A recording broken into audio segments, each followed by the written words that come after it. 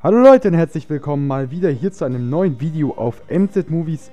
Heute in diesem Video werde ich voraussichtlich etwas verspätet die Longboard Tour 2019 bekannt geben.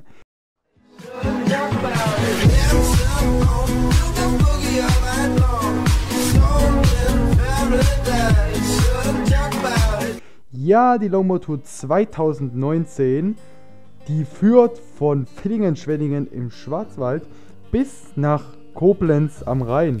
Ja, das wird Jahr eine richtig lange Longboard-Tour. Und ich zeige euch jetzt einfach mal die einzelnen Etappen. Dieses Video, die einzelnen Etappen.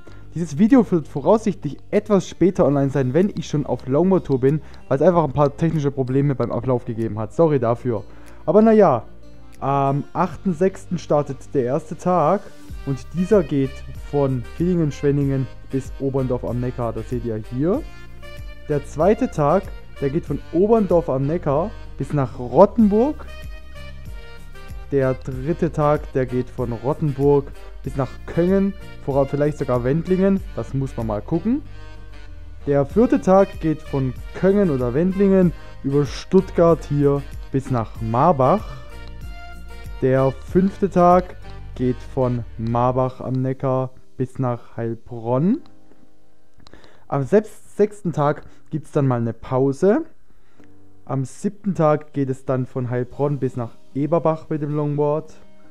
Am achten Tag dann von Eberbach bis nach Mannheim.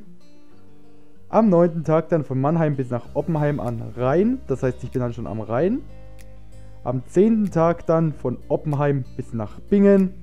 Und am elften Tag dann von Bingen bis nach Koblenz. Ich werde dann am 18.06. in Koblenz sein und am 19.06. werde ich dann mit dem Zug wieder nach Hause fahren. Ja Leute, freut euch auf die Longboard Tour. Es wird auf jeden Fall eine richtig nice Tour. Ich habe auch richtig Bock darauf.